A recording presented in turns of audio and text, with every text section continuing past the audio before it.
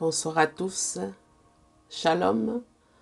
Notre série sur l'envoûtement continue. Vous êtes nombreux à m'avoir sollicité et demandé de vous donner également les signes d'une femme envoûtée.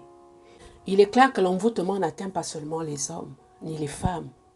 Mais ici, je traite vraiment le cas d'une femme qui est envoûtée, une femme mariée qui serait victime euh, d'envoûtement soit de la part d'un homme qui est soi-disant amoureux d'elle et qui veut la retenir pour lui, soit de la part d'un mari jaloux qui a décidé d'embrigader sa femme dans le pouvoir de l'enchantement en utilisant des charmes. Car certaines femmes sont retenues dans les foyers par le pouvoir de l'enchantement et de l'envoûtement. Et c'est vraiment méchant d'user de charmes pour forcer l'amour, pour détruire une vie même forcer le destin. C'est de la pure sorcellerie. Dieu a créé l'homme et la femme libres, chacun avec un libre arbitre. Ça veut dire que Dieu a mis en l'homme la capacité de choisir le bien ou le mal, d'accepter ou de ne pas accepter. Et cette liberté nous donne de dire non ou oui. Mais lorsqu'on use des charmes, lorsqu'on use de l'envoûtement, pour faire accepter des sentiments à quelqu'un, c'est de la manipulation et c'est de la sorcellerie.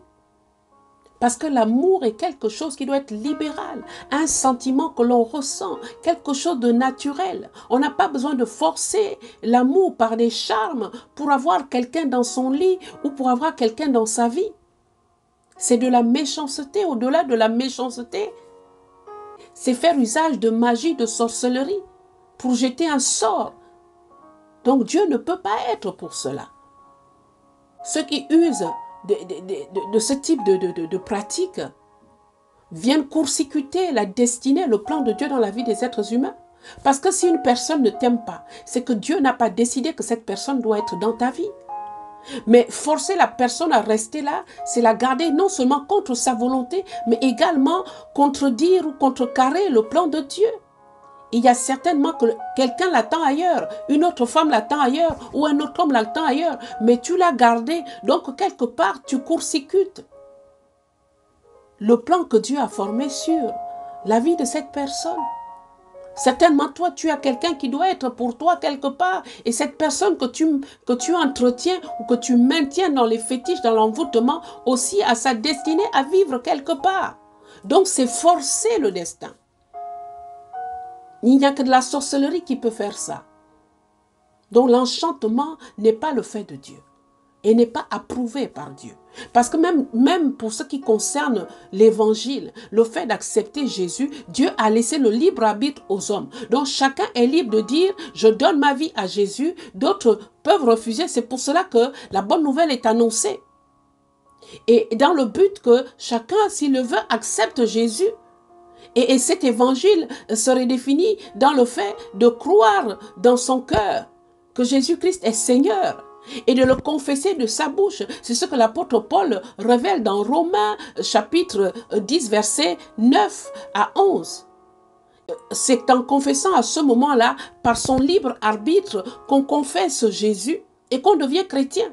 Si Dieu n'avait pas été un Dieu de liberté, il nous aurait tous forcés à donner nos vies à Jésus sans avoir à faire le choix. Donc Dieu nous a donné le libre arbitre pour que chacun en fasse le choix librement. Pareil dans le cadre du mariage et dans le cadre de l'amour, dans le cadre de la vie sentimentale. On ne peut pas forcer un être humain à faire ce qu'il ne veut pas faire. C'est un emprisonnement. Donc c'est de l'esclavage, c'est une servitude, parce qu'on voit la conscience d'un homme pour qu'il fasse ce qu'il n'a pas envie de faire. Ce n'est pas sain, c'est diabolique. Et donc ceux qui usent de charme et d'enchantement viennent modifier les voies du destin et même compromettre la destinée.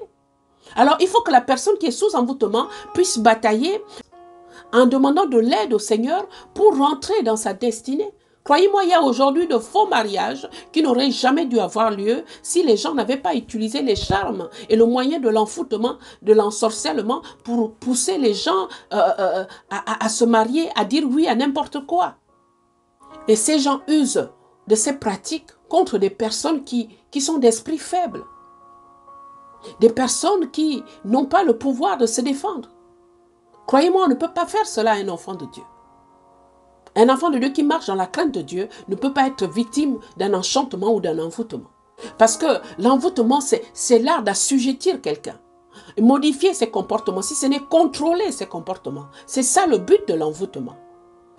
Donc l'amour est un sentiment libéral. Un sentiment qui est une conviction intérieure. Selon que Dieu a façonné les humains, il a mis dans le cœur de l'homme quelque part où l'amour doit s'exercer. Donc c'est une conviction intérieure. Quand tu rencontres quelqu'un, ce qui fait que vous puissiez vous unir au point de penser que vous pouvez euh, ensemble vivre et même unir vos, vos destins, c'est l'amour. C'est un sentiment naturel. On n'a pas besoin de le forcer parce que Dieu l'a établi justement dans le cadre du mariage. C'est ce qui pousse les hommes à se marier. C'est pour cela que les êtres humains, quelle que soit la provenance, quelle que soit la nationalité, quelle que soit la culture et l'éducation, on va se trouver à tomber amoureux ou amoureuse de quelqu'un qu'on ne connaît pas, qu'on n'a même jamais vu. Parce qu'on a ce sentiment qui est une conviction intérieure qui vient de Dieu et qui nous permet de reconnaître que cette personne est la personne avec qui je veux vivre, si ce n'est dans un autre sens, l'homme ou la femme de ma vie. Et c'est ce qui engage dans le mariage. Donc s'il n'y a pas cet amour, on ne peut pas s'engager. C'est pour cela que plusieurs personnes se sont vues mariées à des, à des voyous, à des criminels, à des violeurs, à des voleurs. Et pourquoi? Parce que l'amour est un sentiment qui aveugle. C'est pour cela que la parole de Dieu dit clairement que l'amour couvre une multitude de fautes. L'amour couvre les défauts, même les défauts physiques comme les défauts caractériels. L'amour nous permet de voir l'être aimé sous un autre angle. La personne étrangère à une personne familière avec qui on est prêt à s'engager dans une vie intime. C'est ça la force de l'amour. Donc ça doit être quelque chose de naturel, un sentiment qui naît, mais un sentiment qui, qui, donne une conviction intérieure, que je peux m'engager, que je peux prendre des risques aux côtés de cette, cette personne. Je peux mettre ma vie entre ses mains, je peux aller avec.